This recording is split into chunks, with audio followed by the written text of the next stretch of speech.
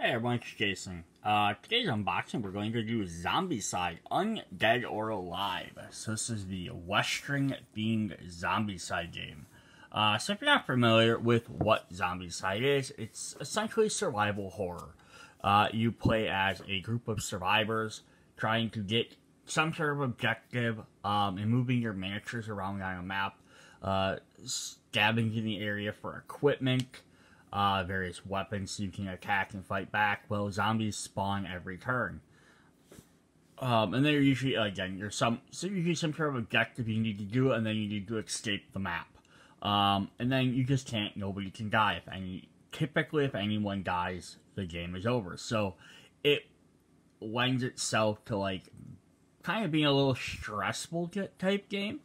Um, just because you really, unlike some other like maybe I to say combat style games, you might think of like, oh, I can just run in and attack, and I can always run back out and heal, or I have a bunch of health in games. Um, this your characters all have usually like two to three health, and enemies typically do one to two damage every turn. So you can't run into a horde of zombies and be like, I can single-handedly take out 20 zombies because you probably can't. You can maybe handle two or three at a time, you know, and then you kind of gotta get away. Um, so although this is um, a Zombicide game, it's not gonna be one-to-one compatible with every other Zombicide game. Because um, each one does um, they, they change up things just to like the core rules are the same, the basis of how everything's played is the same, but they kind of change some of the some of the way different uh, the characters' abilities work, or how the equipment works, or the map, or some things like this. So you could conceivably combine them all, um, but you would have to like make your own in-home rules. You can't just pick up characters from this game and put them in like the regular Zombicide game or like the uh, Marvel zombie game, like because everything plays just a little differently. Uh, so just with that. So we're going to go ahead and jump into the core set. Um, and then subsequent videos will have uh, all the uh, regular expansions plus like a bunch of Kickstarter expansions you might be able to find at retail. Um, so there's a lot of stuff in here, so we're just going to hop right in. So you're going to get uh, 73 zombie miniatures. So you're going to get a bunch of walkers, runners, brutes, and abomination. Um, some double-sided tiles, 14 different survivors with your playable characters. So you get a bunch of different people to play as, so you're not stuck playing as the same, like, two or three people. Um, some miniature games start you off with, like, here's five characters. So it's like, well, I guess if we're playing a five-player game, everyone gets one character, and this, so they give you some good options. Uh, plus a bunch of tokens, cards, um, all that fun accessory stuff you need to play the game. Uh, yeah, so they had other Zombicides like Classic, which is, you know, the city, city version, uh, Apocalyptic set. They had Fantasy, which is like Black Plague, and um, Green Horde, which is like the Dark Ages, which is like your elves and goblins and stuff.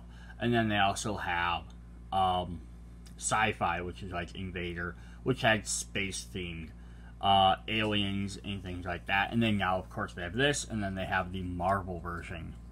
Um, and then, like, a side version of that would be the Massive Darkness games, which are also fantasy, but there you're fighting hordes of monsters as opposed to undead. But they play very, they play similar and different at the same time, which is kind of cool.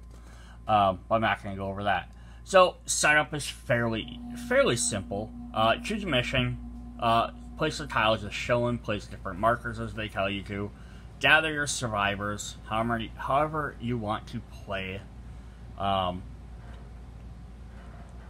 so then you can, you know, and you can also add any of the expansion survivors into here. So if you get one of the expansion sets, they're all mix and match.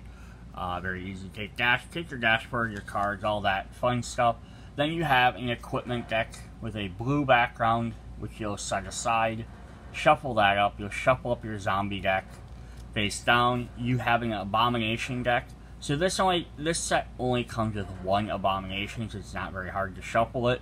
But as you buy other expansions, you might have more um, different abominations, so that way when they appear, you don't know which one you're gonna get. Um, and then they have bounty weapons, which are special ones you have to earn. They're kind of fun. Uh, then there's gray starting equipment. We'll look over all these cards a little bit more. Uh, basically, just going to gather each different card type. It's in its own different thing. Um, and then each survivor has different equipment listed that they can, uh, their favorite equipment, and gets this corresponding equipment of the said type. Um, so they each start a basic weapon, and then you can find better weapons as you go along. So, uh, then there's four types of survivors: brawlers, faithful, gunslingers, and comic book. Um, and again, I'll jump over a little bit more detail into some of these as we get into them. But the setup for the game is fairly simple. So, like, there's a setup for uh, six players. Their board, their starting cards, um, all their pegs. So, gonna have little pegs over here, which will indicate like health, special abilities, your starting card. Um, your tracker on the bottom here is your danger bar, uh, which is essentially like an experience meter. And then you have some extra little dots up there so if you get more abilities. Um, and then how the game is played. Um, players get go, so players take first. Uh, take your turns activating the survivors one at a time in the order of their choice. So now this is one thing that's really fun about this game is that um, each player gets three actions and they can do various stuff, moving, attacking, using special skills, but you don't have to go player one, player two, player three. Um, so everyone can kind of go in whatever order makes the most sense. So it might make sense for the third player in the group um, to go first because that way they can maybe kill a guy that's closer to them or draw the attention of the zombies away from them or do something and then the second player can go then the first player can go last and the next turn you can switch it all around um, so whatever makes the most sense for moving people we want or maybe you know this guy's already next to a spot where he can stab scavenge an item he can scavenge it then he can move trade it to somebody else and that guy could use it on their turn um, then the zombies all get to go. Basically, they try and use their action points, either one or two if they have multiple actions. They try to attack first. If they can't attack, then they move. And if they can, if they have a second action and they move, they can attack again if they're in there. So they don't like dart across the board super fast or anything, uh, but you still gotta watch getting trapped. Um, and then the end phase is you're gonna flip over a boom token um, basically, that's a way to, to attract um, attract the zombies. If you make noise, they're to go towards the noise.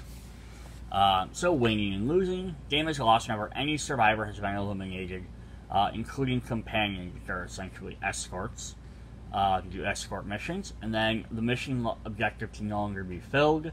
Uh, so this would be if it says, um, like, just as an example, I'm not saying this is one of them, but if it's like, like you had to uh, rescue this thing or collect this objective, and then for some reason you can't collect that objective anymore because it got destroyed. Maybe it had so much health and it got hit by a zombie, or you blew it up with dynamite by accident. Um, or as soon as the seventh spawn zone becomes active, um, so basically you're always on some sort of a time limit. So you can't just run around and be like, oh, we'll just run around and constantly avoid the zombies and we'll run them in circles because they're going to keep spawning, first of all, every turn. So if you don't eliminate some every turn, they're to start to overwhelm you. Um, and then there's just also the other in-game thing. Um, yep, so that's pretty useful. Then the guide goes through very nicely and uh, explains how zones and stuff work uh, so zone is basically any square that is walled off, whether it's inside a building or if it's on the play map divided by uh, there's little sections on there. So all this is on four tiles. It's one zone because each side is barricaded off. Like the building itself is one full zone um, because it's all one giant area. Uh, and then like this, so what each each area is a little zone, yeah, just depending on where it's all sectioned off by extra little areas. So there's a bunch of different zones in here. Um, and then this little guy here looks very confusing at first, but it basically explains how line of sight works. So, to be able to attack either yourself or do something as your your survivor character or as a zombie, you have to obviously be able to see them. And just the quick ones in here is just kind of showing like you can't see through walls or diagonal through areas. You can only see in a straight line down the map. Um, you can see into buildings, but you can only see one space into a building. You can't look all the way through a building because there's a wall or a door. Um, you can't see um, same same idea as you can see outside of a building if you're one room away, but you can't see through two rooms. Um, so I was just gonna assume there's stuff something in the way to prevent you. But like Carl here can see all the way down the street. Molly here can see out of this room and then she can see down the entire street. But like May here can see one room but she can't see through that room past there. Uh, Casey's up here on a balcony. She can see, basically she's treated to be in this, any of these tiles. She, she can see left to right, up and down. But she can only see one down the stairs or they can see one up the stairs. They can't see everything in the building. Um, now what is kind of tricky is since she's Molly's in this room, she can technically see into this room because this giant part here is all the same room. So you could assume that she's standing here to look out that door or this door, or she's standing over here to look out this door, because it's all the same zone. Um, that's the basis of that. You know, it just determines what you can see, what can block you. And the same thing will go for zombies. Um, movement's the same way. You can move like one space, but you can't move through walls or diagonal. Um, weapons work very interesting. So there's melee weapons, and then there's ranged weapons, which can either be a pistol or a rifle. Um, and then there's kind of a listed on here. So the range, 0 to 1 is how many spaces away it can attack, either on your same zone or one space away. So melee weapons are usually there. Ranged weapons usually, um, they might go something like 2 to 4, so they can't hit anything closer than 2 spaces away, but they can go up to 4 spaces. Uh, the dice is the number of dice you roll for the attack. Uh, the little target system is your accuracy, so that's how many, uh, what number you have to roll to actually hit with it. And then the splash of blood is your damage. So with this weapon here, you would roll one die. If you got at least four or higher, you would do one damage. If you got three or less, you wouldn't do anything. Um, and then some of the guns have ammos. Uh, so pistols have bullets, and shotguns have shells. Uh, so just certain things that might matter on cards that reference the bullets. They're just saying which ones do which. Um, you're not typically stuck to having like ammo. Like you don't have to like have like like a cart of ammo sitting around. Like you're assumed to have unlimited ammo. Um, sometimes you have to reload, but um, yeah, you don't have to worry about that. And then there's noise, like guns will make noise, knives won't. So granted, knives, you have to get up closer. They might do less damage, uh, but they're not going to attract bigger and more zombies. Um, yeah, so this is another good explanation of that. Some of the other types. So like this one, you have to do a you know one to five. So the starting weapons are typically worse than better uh, upgraded weapons. Um, so like the pistol does 0 to 1 space, where the shotgun does 1 to 3 range. Um, and then here's just kind of showing how a zombie, uh, uh, stuff will happen with the, with, uh, bangs and moving stuff around. So if there was a bang here and then Jimmy moves here and then shoots, now you'll have a bang on that spot. So now they'll want, and then if he moves here, now the zombies are going to try and move towards this bang versus him unless they can see him. Uh, this this book does a very good idea of um, showing how well they do that.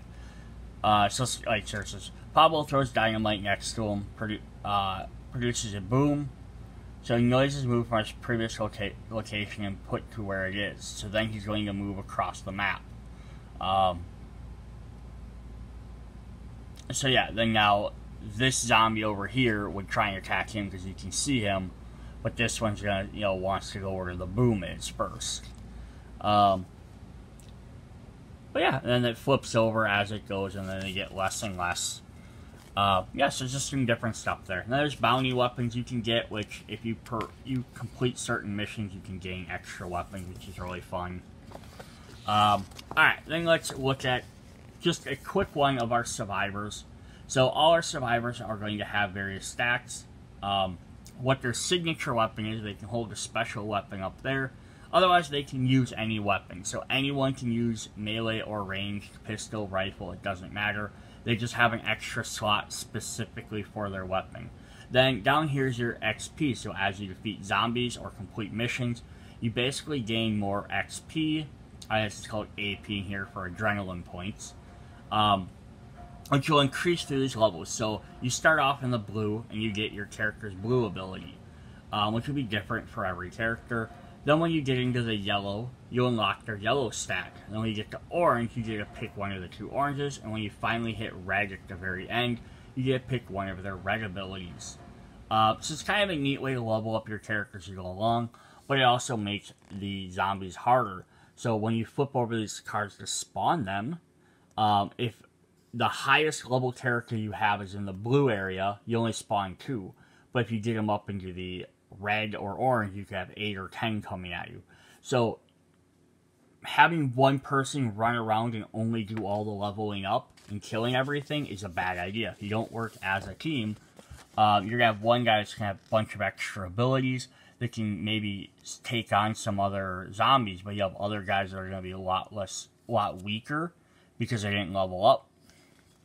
So there's that. Uh, then your inventory. So this is the neat thing here. You have your two equipped weapons, your basically your left and right hand. Um, and then you can have your backpack up here with three extra items. So you can store extra items, you can swap them in and out, um, depending on what you might want to be or what your situation is. You're up close, you might want to swap. Um, and you can also have, again, your third special weapon there. This book does a very good job of describing how everything works. Um, then we have our zombies. So there's three types of zombies. There are walkers, which are slow. They deal one damage, take one hit to eliminate, and they give you one experience point or AP point.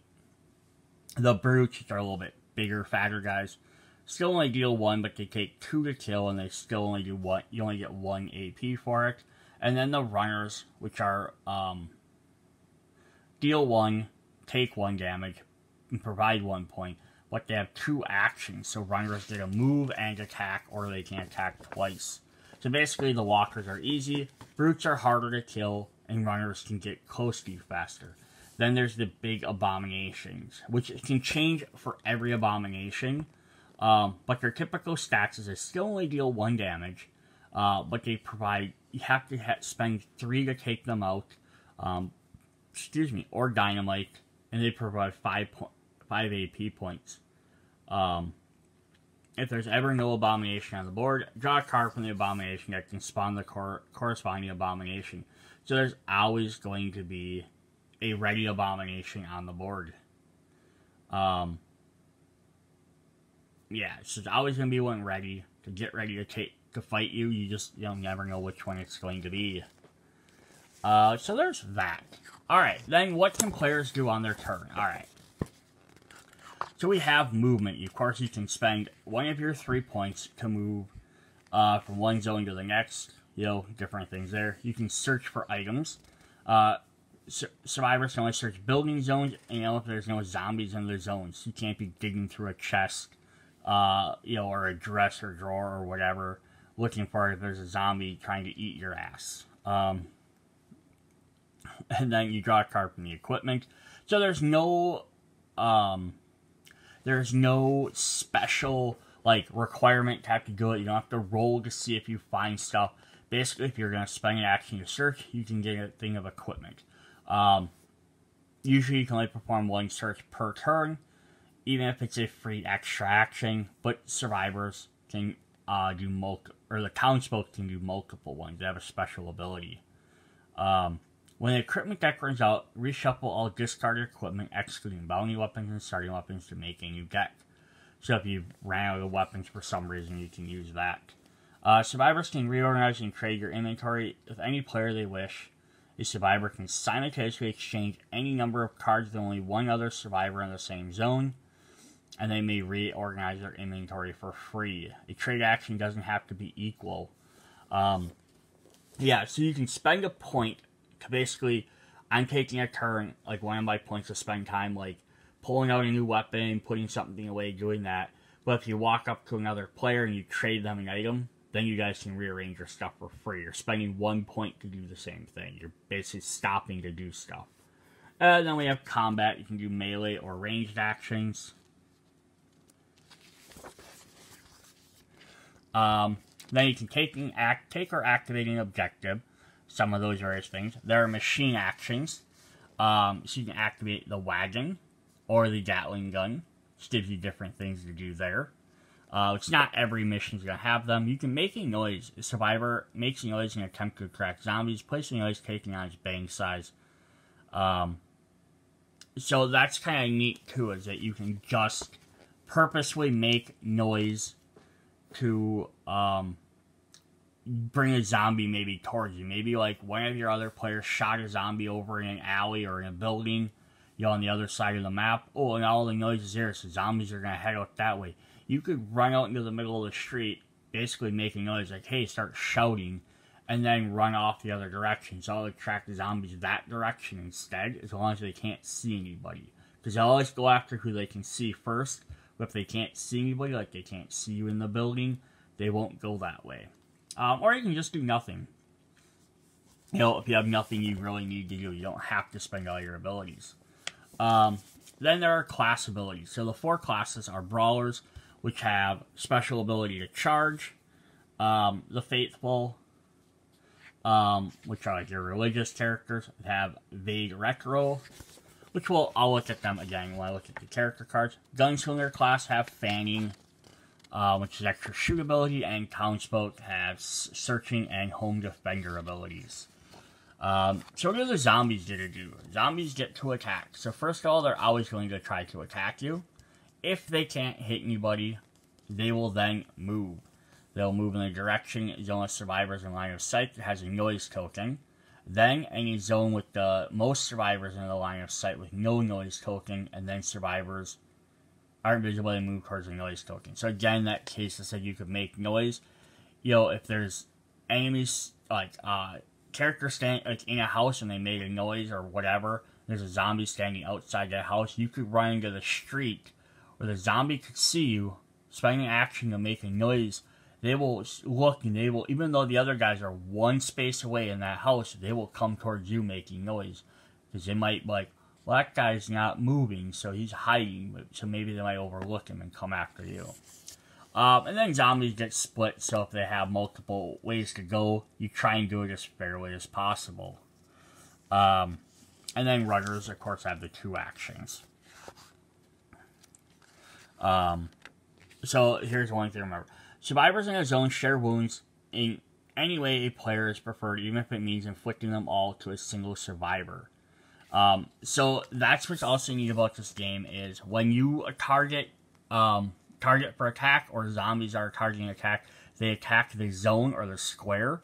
So if you're shooting into a zone um, and you do three damage, you should divide that damage as needed um, to all the zombies in the zone. You don't have to specifically target this zombie, then that zombie, and then make multiple attacks for each one. If you do three damage and there's three walkers in there, you can take out all three of them. Um, it's not, I did three damage to this one guy, oh, I overkilled him. Now I have to shoot a second time. Uh, but the reverse goes the other way. If there are three zombies in your zone and there's two people, you have to divide that three damage amongst your two people. And being that you only have two or three health, that's not good. Um, we're just about done with the instructions. Um, so we have spawn. So zombies are always going to spawn. They're going to have these little spawn tokens here. Um, the yellow one's are starting zones, so they always spawn there first, and then they spawn going like around the board, however the spawn tokens are. So they'll spawn um, like like counter or clockwise around the board. Um, it's just it's just a map showing how zombies will go after different people. Um, So whichever way they need to go. So like I think technically like this is showing like Trixie's technically closer, so he'd be like one, two, three this way, but he's gonna go that way because of the boom. But he'll go this way because he can see him. Um, yeah, there you'll flip over a zombie card. It'll tell you what zombie uh, to spawn and how many based on your your uh, levels. Uh, then you spawn at your different zones. Yeah, the starting zone is always the first one to spawn, even if others are added later. Start with this one, continue clockwise. Um, so starting as a spawn zone may also contain other spawn tokens. They should appear in this order. Uh, starting spawn, mobile spawn, and abomination. Um, so there are ways to move spawn tokens around, which is kind of cool. Uh, mobile spawn tokens always spawn zombies, but may be moved to a starting spawn zone using holy water. Um, mobile spawn tokens can be moved, but not deactivated or destroyed unless the mission states otherwise. Survivor may discard a holy water at range 0 to 1 within line of sight to move a mobile spawn token to the starting spawn zone. From now on, the st starting spawn zone zones one zombie for itself and one for each additional mobile mobile mobile spawn token. Um, so it's neat there is that with like if like you have a let's say you have a spawn at each of the four corners of the map, like north, south, uh, east, and west, you could move essentially move them all just to the north. Then now you only have to worry about zombies coming from that direction, which gives you, you know, you're not going to get surrounded as easy. Um, and then they have the abomination spawn, which would be a separate one. Um, always starts on the inactive side. They can be moved but not destroyed, so you can move them the same way. Um, as soon as Abomination spawns, flip it to their active side. They immediately spawn if a player hasn't already spawned them. As soon as it's eliminated, um, they don't spawn again until another Abomination spawns. So I did mistake that earlier. I said you're always going to be fighting one. If you draw another Abomination token, or spawn card, then one will spawn again. So if you do eliminate one, you can get potentially get a breath of fresh air. Um, so it's not no reason not to get rid of one. Uh, then we also have corpse piles. Uh, corpse pile zones may be found in most houses using holy water. To get rid of them. Um, your corpse piles, corpse pile spawn tokens are not set on the board during step. Uh, they, they predefined places where corpse spawns are set and can be destroyed but not moved. Uh, whenever any survivor enters a building in the corpse pile for the first time, place a spawn token on it. Uh, from now on, it's active. Um, companions, the building may the building may over multiple tiles containing several corpses. Um, in this case, only the corpse pile on the same tile, if present, as it enters survivor becomes active. The other one should become active whenever it enters that tile. So this is one thing that's maybe a little bit different than some other Zombicide games. Um, is only activate when you actually step into that tile, not when you step into a room. Lots of the other games, when you enter a room, everything in there activates. So also you might the entire thing might be full. Um, but they only start to stir when you enter. So if I entered from this house here, I could enter here, I could go here, I could go up here. I wouldn't ever have to almost go in there if I don't want to spawn that. Um, Oh, sorry, it's the entire. Sorry, I mis misrepresent because the entire house is a spawn. So as soon as you enter the house, that's going to start spawning. So you're going to want to take them out. Um, I miss. I am mis mistaken. I keep thinking um college thing. Yeah. So when you enter a a building, they're going to start spawning, but you can get rid of them by using holy water. Um, and then it gets rid of it completely, so you don't want to have to deal with them too much. But the other ones are always going to keep spawning. So spawn here, two, three, and then these guys will also spawn. Um, but now if this is active, it'll go one, two, three. It'll spawn that direction instead. Um, yeah, so there's some various different stuff there.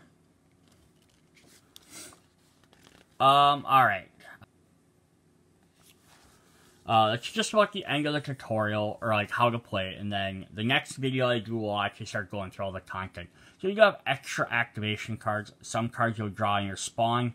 We have extra activation to uh, whatever it says, walkers, runners, whatever. Um, Now it says, although containing enough zombies to invade the board, players may still run out. If It is required to place a zombie on the board. The remaining zombie miniatures are there, or spawn an abomination if it gets one. Um,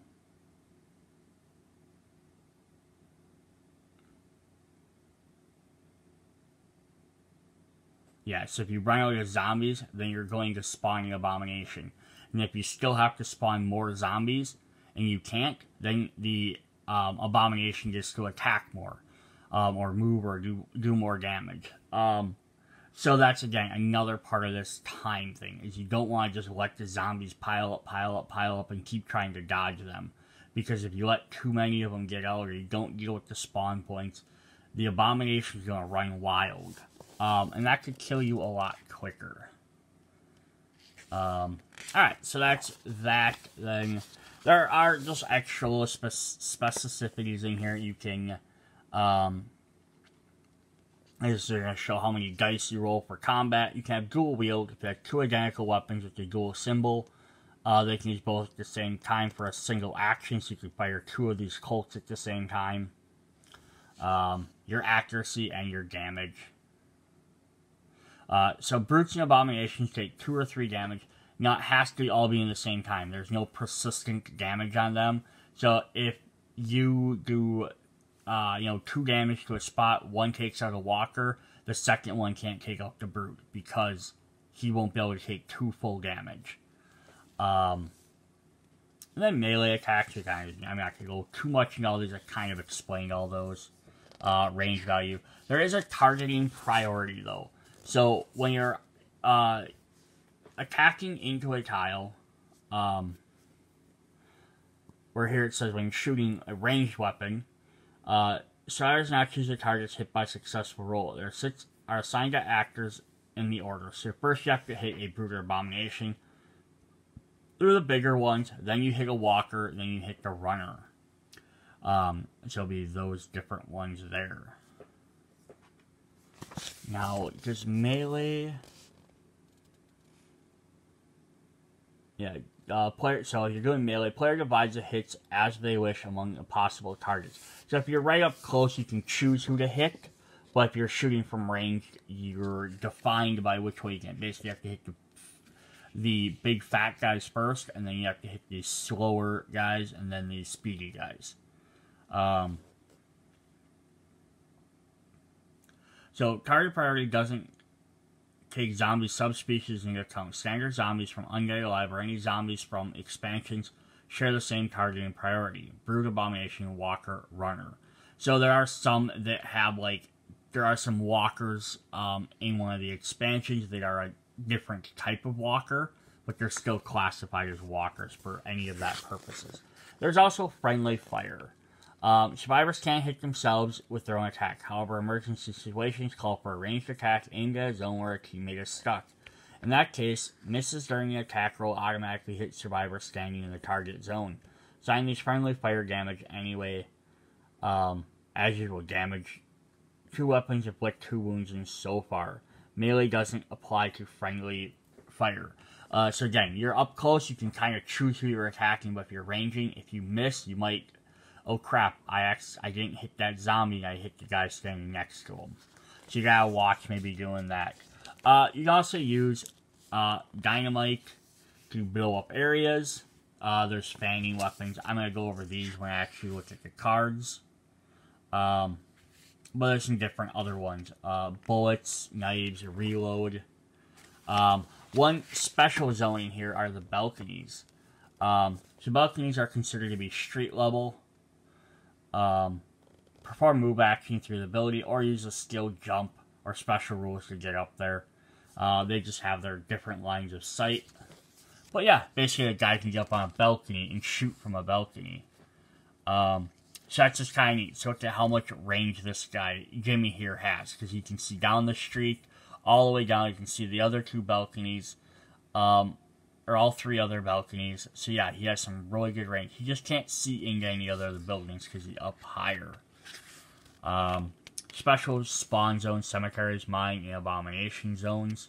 They're active via different parts of the map. And then there's the train. Um, so there's various stages. You'll use the train, which can be either mobile or immobile. If it's immobile, um, you just add it to however it shows it in the in the game. If it's mobile, it'll cross the board. So when it's mobile, you'll start with three railroads, and then as you move it uh, through the game, you will flip over each tile, and each one will be a different. You'll replace the railroad behind it. So there's always going to be a railroad showing. Um, so here they're showing some different things here. So like the top here is the actual railroad, number one. So you can cross and out of that zone. But then part two is like half railroad, half train. So now the train is a separate piece. And then it divides these two sides up to three. But then when the train moves, if it moves down, all of a sudden, you know, now you have some extra room there. Alright, and I think we have... Uh, you can run over zombies, so if they're on the train and it's coming, you can definitely lure them into those spaces. That's a fun aspect. But yeah, here's how the train basically works. So you have, like, flip over the first railroad trial. It's the, it's the, uh, uh, the lo locomotive for the train.